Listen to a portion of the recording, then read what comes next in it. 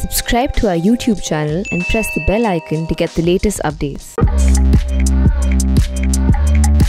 We are sitting in this uh, village called Pinarai in, uh, in the north of Kerala, which is how Mr. Vijayan gets his name, Pinarai Vijayan, of Pinarai, of village Pinarai. But this is not a village that you would see um, in parts of North India, in UP and Bihar. This is a village which has beautifully paved roads, the street lights work at night, and the people are uh, reasonably well fed, um, not impoverished, like again, like you see in parts of Uttar Pradesh. And one more thing last night, when I went to his house to confirm this interview, there were no hu- like hundreds of people, no chaiwalas, no thousands of cars, just people all around his house. It was just very quiet, very simple. And I think that's the beauty of Kerala. It's an unusual state and an unusual election. Mr. Vijayan, welcome to the bridge. അല്ല ഈ പറഞ്ഞതിൽ ഒന്നും പറയാനില്ല കേരളം കാസർഗോഡ് മുതൽ തിരുവനന്തപുരം വരെയുള്ള ഒരു extended സിറ്റിയാണ് ഒരു വില്ലേജ് കഴിഞ്ഞ് കുറേ വേക്കൻ ലാൻഡ് പിന്നെ വില്ലേജ് ആ ഒരു നില കേരളത്തിലില്ല. എല്ലാ സ്ഥലത്തും എല്ലാ സൗകര്യങ്ങളും. ഗ്രാമീണ ഗ്രാ ഗ്രാമത്തിലായാലും നഗരത്തിലായാലും എല്ലാം റോഡുകൾ വളരെ മെച്ചപ്പെട്ടതാണ്. ആളുകൾക്ക് നല്ല രീതിയിലുള്ള ജീവിത സൗകര്യങ്ങൾ എല്ലായിടങ്ങളിലും ഉണ്ട്. അതാണ് കേരളത്തിന്റെ പ്രത്യേകത. But I want to ask you, uh, Mr. Vijayan, is that you seem, your state seems to have done very well on socioeconomic indicators over the last five years. Uh, now, you know, I went to a school in uh, Tiruvananthapuram where it's like a high tech building, lots of computers in the classrooms. Then I went to a, a hospital in Punalu, Punalur Taluka. Again, very, uh, very beautifully, everything is uh, very well done. So, the resources that you have collected from this KIFB, right? Yes, yes, KIFB. Yeah, this Kerala Infrastructure Investment Board Fund. Mm. So, how, as a communist, you have gone to the market to get these resources? അല്ല ഇവിടെ കമ്മ്യൂണിസ്റ്റോ കോൺഗ്രസോ എന്നുള്ള പ്രശ്നമില്ല B J പിയോ എന്നുള്ള പ്രശ്നമില്ല നമ്മൾ നാടിനെ വികസിപ്പിക്കാനാണ് നിൽക്കുന്നത് നാടിനെ പുരോഗതിയിലേക്ക് നയിക്കാനാണ് നിൽക്കുന്നത് അപ്പോൾ അങ്ങനെ വരുമ്പോൾ കേരളത്തിന്റെ ബജറ്റ് വിഹിതത്തിൽ മാത്രം നിന്നുകൊണ്ട് കാര്യങ്ങൾ ചെയ്താൽ നാടിന്റെ വികസനം ഉറപ്പുവരുത്താൻ കഴിയില്ല. അപ്പോൾ അടിസ്ഥാന സൗകര്യ വികസനത്തിന് ആവശ്യമായ ഫണ്ട് കണ്ടെത്തേണ്ടതുണ്ടായിരുന്നു. അതിനാണ് കിഫ്ബിയെ പുനഃസംഘടിപ്പിച്ചത്. അൻപതിനായിരം കോടി രൂപയുടെ അടിസ്ഥാന സൗകര്യ വികസന പദ്ധതികൾ രൂപം കൊടുക്കുമെന്നായിരുന്നു സർക്കാർ പറഞ്ഞിരുന്നത്. പക്ഷേ അറുപത്തി മൂവായിരം കോടി രൂപയുടെ പദ്ധതികൾക്ക് രൂപം കൊടുക്കാനായി. നിങ്ങൾ ചൂണ്ടിക്കാണിച്ച സ്കൂളുണ്ട് ആശുപത്രിയുണ്ട് റോഡുകളുണ്ട് പാലങ്ങളുണ്ട് വൈദ്യുതി മേഖലയിലെ ട്രാൻസ്ഗ്രിഡ് ഉണ്ട് രണ്ട് ഹൈവേകൾ നാഷണൽ മലയോര ഹൈവേയും തീരദേശ ഹൈവേയും ഉണ്ട്. ഇങ്ങനെ ഒട്ടേറെ പദ്ധതികൾക്കാണ് രൂപം നൽകിയിട്ടുള്ളത്. സംസ്ഥാനത്താകെ രൂപം കൊള്ളുന്ന ഇൻഡസ്ട്രിയൽ എസ്റ്റേറ്റുകൾ വ്യവസായ വികസനത്തിന് വേണ്ടി. ഇങ്ങനെയുള്ള എല്ലാ കാര്യങ്ങൾക്കും നാടിന്റെ വികസനത്തിന് വേണ്ടിയുള്ള വലിയ പദ്ധതികൾക്കാണ് രൂപം നൽകിയിട്ടുള്ളത്.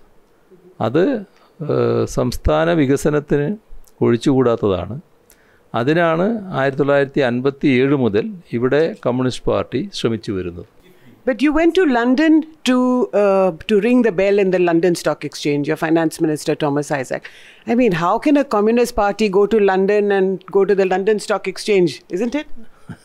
ഇതിലൊന്നും ഒരു ആശ്ചര്യവുമില്ല ഇവിടെ സംസ്ഥാന ഗവൺമെൻറ്റിന് ആവശ്യമായ വികസന കാര്യങ്ങൾക്കുള്ള ഫണ്ട് ലഭിക്കേണ്ടതുണ്ട് ആ ഫണ്ട് ലഭിക്കുന്നതിന് സാധാരണഗതിയിൽ വായ്പയെടുക്കണം ആ വായ്പയുടെ ഒരു മോഡലാണ് ഈ ലണ്ടൻ ലണ്ടൻ സ്റ്റോക്ക് എക്സ്ചേഞ്ചിലെ മസാല ബോണ്ട്. അതിന് പെർമിഷൻ എടുക്കേണ്ടത് റിസർവ് ബാങ്കിൽ നിന്നാണ്.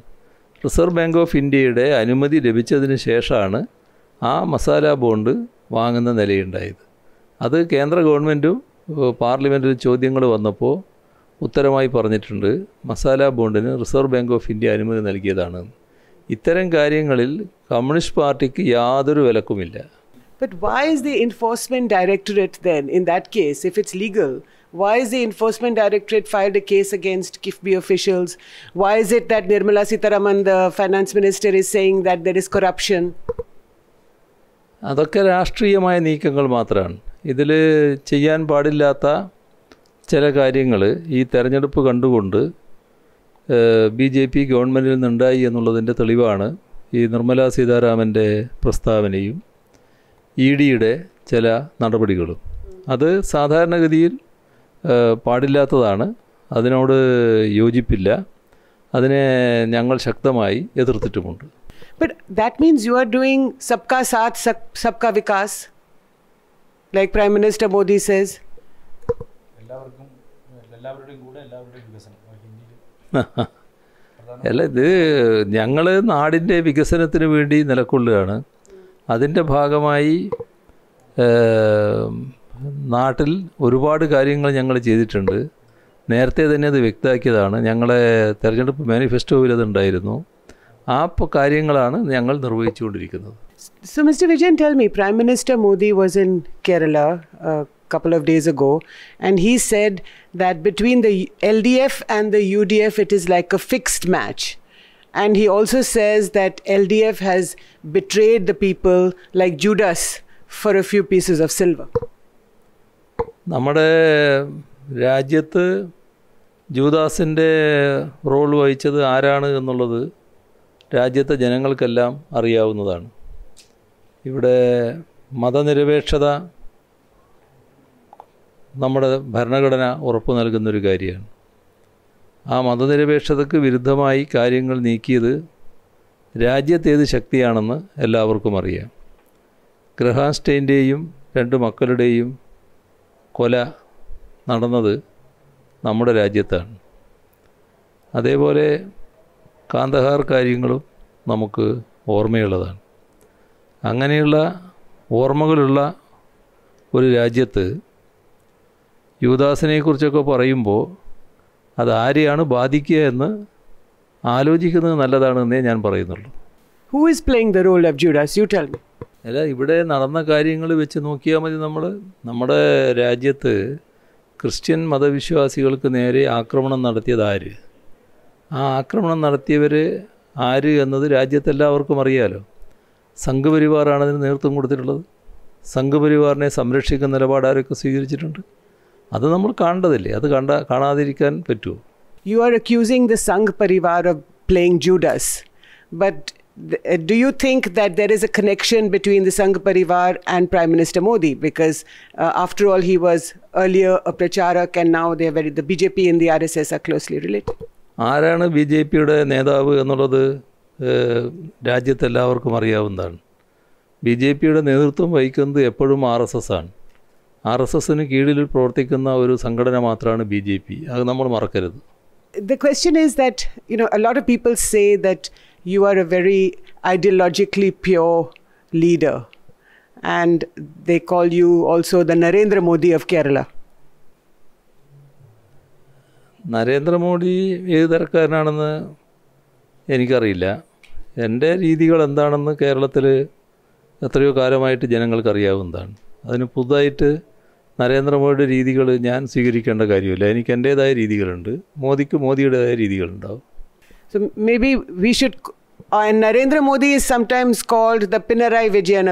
Uh, അല്ല അങ്ങനെയല്ല. നരേന്ദ്രമോദിക്ക് നരേന്ദ്രമോദിയുടേതായ രീതികളുണ്ട്. പിണറായി വിജയന് പിണറായി വിജയന്റെതായ രീതികളുണ്ട്. അത് ആ നിലയ്ക്കേ കാണേണ്ടതായിട്ടുള്ളൂ. So tell me, tell me about the rest of the country in the politics of the country. You see what is happening in West Bengal. How do you see that election?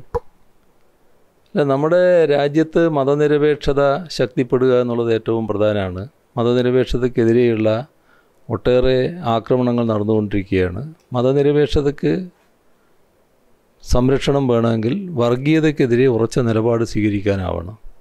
അക്കാര്യത്തിൽ ദേശീയ തലത്തിൽ തന്നെ ശ്രദ്ധിക്കേണ്ടതായിട്ടുണ്ട്. Would you say that the opposition should come together and unite to fight the BJP? അതിൽ അതാണ് ഞാൻ പറഞ്ഞത്. മതനിരപേക്ഷത സംരക്ഷിക്കാൻ വർഗീയതയോട് വിട്ടുവീഴ്ചയില്ലാത്ത നിലപാട് സ്വീകരിക്കണം. വർഗീയതയോട് വിട്ടുവീഴ്ചയില്ലാത്ത നിലപാട് സ്വീകരിക്കുക എന്ന് പറയുമ്പോൾ മതനിരപേക്ഷമാണെന്ന് അവകാശപ്പെട്ടാൽ മാത്രം പോരാ. എല്ലാ കാര്യത്തിലും വർഗീയതയോട് സമരസപ്പെടാതിരിക്കണം. അങ്ങനെയുള്ളൊരു നിലപാട് സ്വീകരിച്ചു കൊണ്ടുപോയാൽ മാത്രമേ യഥാർത്ഥത്തിൽ മതനിരപേക്ഷത സംരക്ഷിക്കാനാവുകയുള്ളൂ. But here in Kerala, the left and the Congress are fighting each, each other. In Bengal, the left and the um, Congress are coming together to fight. So, isn't that a contradiction in terms? പടിഞ്ഞാറൻ ബംഗാളിലത് പ്രത്യേകമായൊരു സാഹചര്യമാണ് ആ പ്രത്യേക സാഹചര്യത്തിലുള്ള പ്രത്യേക നിലപാടാണ് അവിടെ ഉണ്ടായിട്ടുള്ളത് അതിന്റെ അർത്ഥം കോൺഗ്രസ് പരിശുദ്ധമാക്കപ്പെട്ടു എന്നല്ല ആ നില കണ്ടാൽ മതി I want to ask you about KIFBI, the fact that the Enforcement Directorate has registered a case against the KIFBI officials. Would you say that this is, in some ways, um, a success, a victory of what you are doing? അല്ല enforcement directorate തെറ്റായ രീതിയിലാണ് കാര്യങ്ങൾ നീക്കുന്നത് അതിൻ്റെ ഭാഗമാണ് ആ case എന്ന് അവരുടെ നടപടികൾ അത് നിയമപ്രകാരം നിൽക്കുന്നതല്ല ഇത് സംസ്ഥാന ഗവൺമെൻറ് ഒരു ഏജൻസിയാണ് സംസ്ഥാന ഗവൺമെൻറ്റിന് വേണ്ടി ചെയ്യുന്ന കാര്യങ്ങളാണ് ഫെഡറൽ തത്വങ്ങൾക്ക് വിരുദ്ധമായ രീതിയിൽ ഇടപെടുന്ന നിലയാണ് ഇതിനകത്ത് ആ ഏജൻസിയിലെ ചില ഉദ്യോഗസ്ഥർ സ്വീകരിച്ചിട്ടുള്ളത് അതിനോട് ഞങ്ങൾക്ക് യോജിപ്പില്ല എന്ന് തന്നെയാണ് നേരത്തെ വ്യക്തമാക്കിയിട്ടുള്ളത് അത് തന്നെയാണ് ഇപ്പോൾ പറയാനുള്ളത് My, my question now is about the uh, the communists in power in Kerala. Your first, the first government in the world was in 1957 was uh, led by uh, EMS Nambudripad, but 30 years ago the Soviet Union disintegrated. That was a communist state. What is it that you have done differently that communism is still alive in Kerala? ഇത് C P I M അഖിലേന്ത്യാടിസ്ഥാനത്തിൽ സ്വീകരിച്ച നയത്തിന്റെ ഭാഗമായിട്ടുള്ളൊരു കാര്യമാണ് കേരളത്തിൽ മാത്രമായി സ്വീകരിച്ചൊരു നിലയല്ല അതായത് അത് ലോക കമ്മ്യൂണിസ്റ്റ് പ്രസ്ഥാനത്തിനകത്ത് ഇത്തരം ചില പ്രശ്നങ്ങളുണ്ടായ ഘട്ടത്തിൽ ശരിയായ നിലപാട് സ്വീകരിച്ചു പോകാൻ സി പി ഐ എമ്മിന് കഴിഞ്ഞിരുന്നു. അതിന്റെ ഭാഗമായി സോവിയറ്റ് യൂണിയനിൽ സംഭവിക്കുന്നത് അവിടുത്തെ നടപടികൾ കൃത്യമായി വിശകലനം ചെയ്തുകൊണ്ട് തന്നെ പാർട്ടിക്കകത്ത് പറയാൻ അന്ന് സി പി എമ്മിന് കഴിഞ്ഞു. അതിലൂടെ സി പി എമ്മിനെ നല്ല ജാഗ്രതയോടെ നിലനിർത്താൻ കഴിഞ്ഞു. മാർസൽ ലെനിസമാണ് ശരി എന്ന് കണ്ടുകൊണ്ടുള്ള നിലപാട് സ്വീകരിച്ചു പോകാനും പാർട്ടിക്ക് കഴിഞ്ഞിട്ടുണ്ട്. അതിന്റെ ഭാഗമായി ഞങ്ങൾക്ക് വലിയ പോറലില്ലാതെ നിലനിൽക്കാൻ കഴിഞ്ഞു എന്നുള്ളതാണ് വസ്തുത. കേരളത്തിൽ നേരത്തെ സി പി ഐ എം ശക്തമാണ് കമ്മ്യൂണിസ്റ്റ് പാർട്ടി ശക്തമാണ്. സി പി ഐ എം അതിന്റെ തുടർച്ചയായി ശക്തമായി തന്നെ തുടരുകയുമാണ്. And what about in West Bengal? What are the lessons that the left could have learnt or could have done better in West Bengal? West ബംഗാളിനെ കുറിച്ച് ഞങ്ങൾ കൃത്യമായി വിലയിരുത്തിയിട്ടുണ്ട്. ആ വിലയിരുത്തലിന്റെ ഭാഗമായി കാര്യങ്ങൾ അവിടെ പരിശോധിച്ചിട്ടുണ്ട്. മാത്രമല്ല ഇപ്പോൾ വെസ്റ്റ് ബംഗാൾ കൂടുതൽ നല്ല രീതിയിലേക്ക് പുരോഗമിച്ചുകൊണ്ടിരിക്കുകയാണ് My last question, Mr. Vijayan, are you confident about winning this election?